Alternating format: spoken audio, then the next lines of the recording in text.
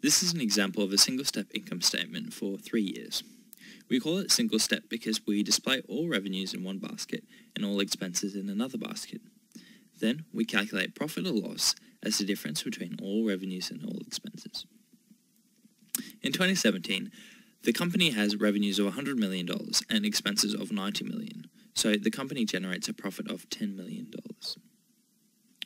In 2018, the company has revenues of $100 million and expenses of $99 million, so we have a profit of around $1 million. In 2019, the company has revenues of $100 million and expenses of $105 million, so we have a loss of $5 million. So, what has happened over time? Well, the company has deteriorated over time as profits decrease. The reason behind the decline in profit is higher expenses over time, which is clear. But the problem with this single-step income statement is that it does not show us what type of expenses have increased over time, such as cost of raw materials, wages, marketing expenses, or interest expense. Therefore, we need to state expenses into different types of expenses for better analysis, and then we can calculate profits at different levels. This is what we call the multi-step income statement. And we have five types of expenses in a company. Firstly, we have the cost of goods sold, also known as COGS, which refers to the cost of production in terms of raw materials and blue-collar wages for workers who work on building machines, for example. Secondly, we have the selling, general, and administrative expenses, and this refers to white-collar salaries, which are the salaries for paid employees who work in an office such as marketers or salespeople, administration staff, finance, accounting, etc.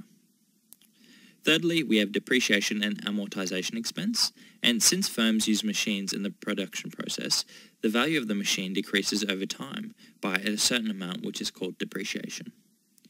Depreciation and amortization have the same definition. The only difference is, is that we use depreciation for tangible assets and amortization with intangible assets. Fourthly, we have interest expense. And when a firm gets a loan from the bank to finance its assets, it also needs to repay interest on that loan. Finally, we have taxes, which is once a firm generates profits, it needs to pay taxes to the government. Any manufacturing company must have the first three expenses for their operation. Therefore, we call the cost of goods sold, selling and general administration expense, as well as depreciation and amortization as operating expense. If a firm does not have debt, it does not have to pay interest. And sometimes firms do not pay taxes, as the government could provide investment incentives, such as paying zero tax if they create a project in a certain area. Consequently, the last two expenses are called non-operating expenses. So, in order to prepare the multi-step income statement, we need to deduct each expense from the company's sales or revenue. Now, let's discuss an example of the multi-step income statement. Our top line, or sales, is going to be $50 million. Then, we deduct the first level of expense, which is the cost of goods sold, of $30 million. This will give us the first level of profit, which is called gross profit of $20 million. And this is calculated as $50 million minus $30 million.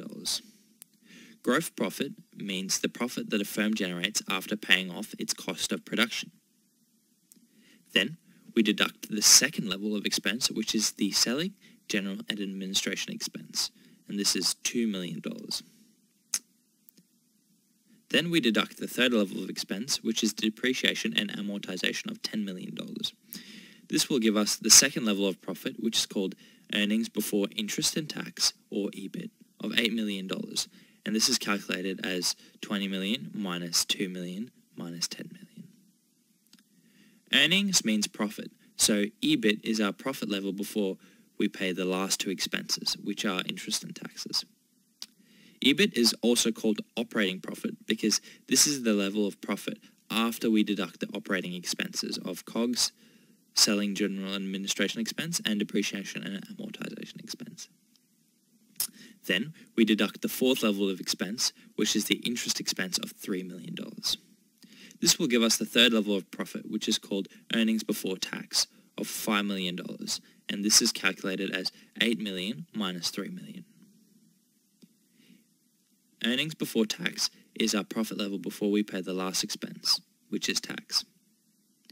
Finally, we deduct the fifth and final expense, which is the tax, at 30%, which means the tax rate is 30%. We calculate tax as tax rate times earning before tax. So the tax is 30% times 5 million, which is equal to $1.5 million. This will give us the fourth level of profit, which is called net income or net profit of $3.5 million, which is calculated as $5 million minus $1.5 million. Net income is the profit level after paying all expenses. Net income is the bottom line. Once a company generates profit, it has two options it can take. Firstly, the company can distribute cash to the owners, which is called dividends. For example, a company will distribute 25 cents for each share. So if you have 1,000 shares, the company will give you cash of $250. Secondly, the company keeps the profit in the firm in order to expand and grow, and this is called retained earnings. Earnings means profit, and retained means the company will keep the profit and not distribute it to the owners. In this example, if a company will distribute dividends of $2.5 million, retained earnings will be $1, $1 million, which is $3.5 million minus $2.5 million.